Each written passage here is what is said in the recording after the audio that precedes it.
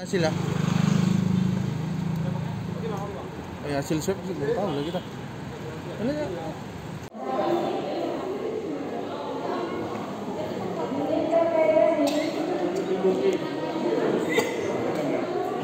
masukkan ya pada alat ya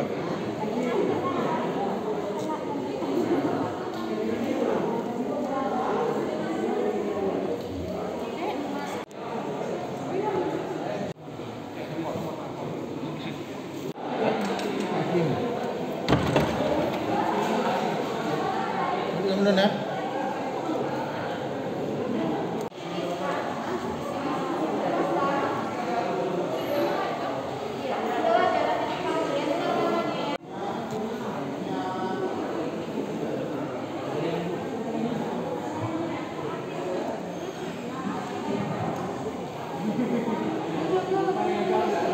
hari ini berapa orang yang diperiksa Pak? Rapid maupun swab? Sepertinya memang dijadwalkan dua hari, hari ini dan besok. Tetapi eh, antusias warga pengadilan, ya, eh, sepertinya hari ini selesai. Tetapi begitu pun kalau besok siapa tahu ada yang tidak eh, belum sempat, misalnya dia ada kegiatan di luar dan lain sebagainya, masih dimungkinkan untuk besok. Tapi lihat situasi seperti ini, eh, dari pengamatan saya dari tadi eh, sepertinya udah hampir keseluruhan warga pengadilan melakukan eh, rapid test, kemudian juga eh, ada yang melakukan juga swab. Ada berapa sekitar Pak? Eh, jumlahnya saya tidak bisa pasti. Persennya, Nah, Pak? Tetapi persennya saya pikir ini sudah 95 persen. Nah, kalau saya lihat dari tadi dari mulai awal sampai saat ini eh, seluruh warga pengadilan sepertinya sudah hadir Kalau totalnya berapa Pak? Eh, seluruh penghuni apa warga pengadilan ini Pak? seratusan lebih. Seratusan lebih ya, Pak. Jadi semuanya ikut semuanya. Pak? semuanya ikut ya baik eh, tenaga honorer yang DIPA non DIPA juga semua pokoknya semua warga pengadilan eh, melaksanakan diwajibkan melaksanakan rapid test Eh, tetapi kalau swab eh, bagi yang mau swab silakan.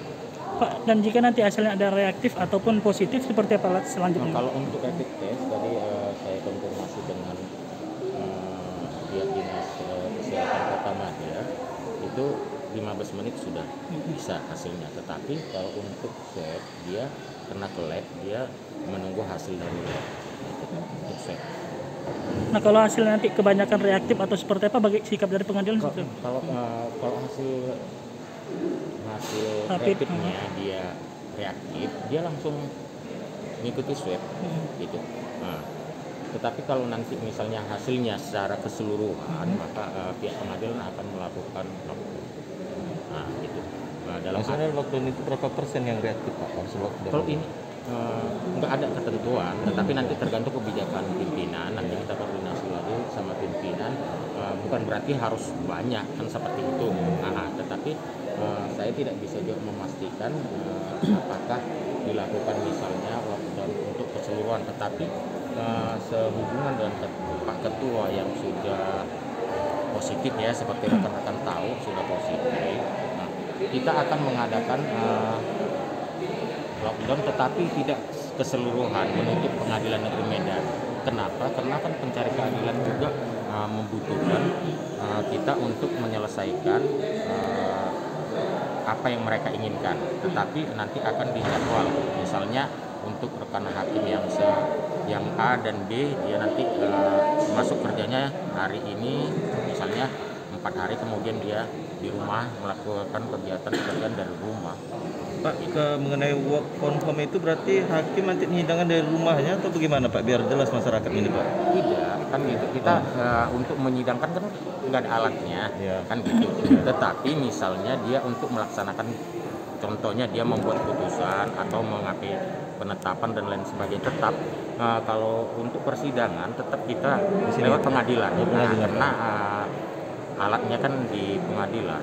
Gitu. jadi bukan berarti sidangnya di rumah gitu. Kan kan ya maksudnya dia online gitu kan dari rumahnya nanti hakim ini dari rumahnya tidak juga ini kan bukan, untuk membatasi Oh. ini saja kan gitu. Tetapi Iya. makanya eh, untuk pekerjaan misalnya yang urgen katakan misalnya rapid itu kan tujuh hari harus sudah putus perkara anak atau penahanan yang sudah mau berakhir itu ya kita laksanakan seperti itu Pak, jadi hasil keseluruhannya kapan bisa diterima dari peng- pihak pengadilan Pak? Kalau dari pihak pengadilan nunggu konfirmasi dari eh, tadi saya tanya dari pihak eh, dinas kesehatan Kota Madia untuk hasil swab.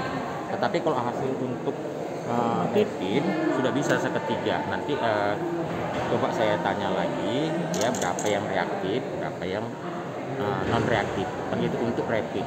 Tapi untuk swab tadi sudah saya konfirmasikan eh, mereka tidak bisa bilang kan misalnya hari Senin atau apa tetapi tunggu hasil lab katanya mungkin banyak di sana tetapi mereka akan eh, akan beritahukan ke kita dan kita eh, nanti akan eh, memberitahukan juga kepada rekan-rekan pers Ketua timnya siapa nih Pak dari Dinas Kesehatan?